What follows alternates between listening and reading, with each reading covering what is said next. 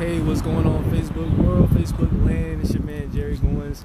Uh, you're about to start seeing me a little bit more. I know I go on hiatus and everything like that, but coming back for the people because y'all need it.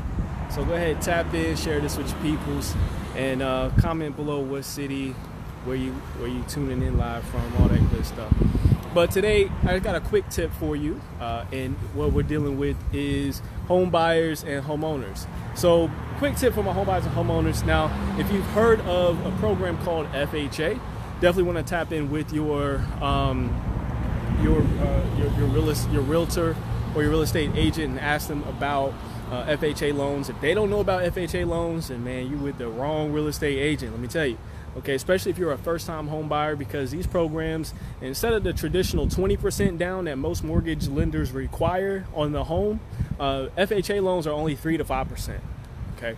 Um, now you're not going to get the best interest rate of course because you know it's a first-time home buyer uh, loan. So you know it's going to have higher interest rates because it requires a lower credit score and a lower down payment. So there's a lot of risk on the lenders so they're going to make you pay for it in the long term okay? And when we talk about mortgages this is a little off topic but when we talk about mortgages uh, the percentage definitely matters because the difference between uh, paying a 3% interest and paying a 4% interest can end up being 70 to $100,000 over the course of that 30 year note. We're talking about 30 years of interest.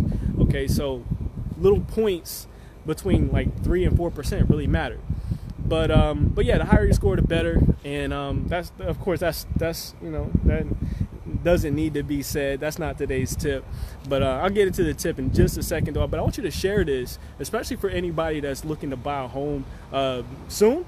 Okay, we do help with credit, so that's a, a, really something that I want to put out there to the world. You guys need to understand. Goins Financial is our company. We're partnered with an amazing company called Novae Money. Uh, but here's the tip. Let's go ahead and get into it. Y'all ready? Y'all ready? Y'all ready? Where you at? Where you at? Where you at? Okay, so when you do get that FHA loan, only bad part about it is they require something called PMI.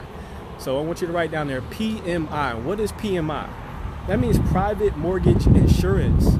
Now, depending on your risk level, you could be paying an additional 100 to 300 to 400 dollars per month on your mortgage note you know so uh, we pay like an extra $190 on pmi you know and that's you know the thing about it is that they don't tell you here's the trick that they don't tell you you don't have to keep pmi forever okay so once the equity in your home or because you're making payments every month eventually you're going to try to pay off the house right so that money that you're paying to actually buy the house out completely, that's called your principal.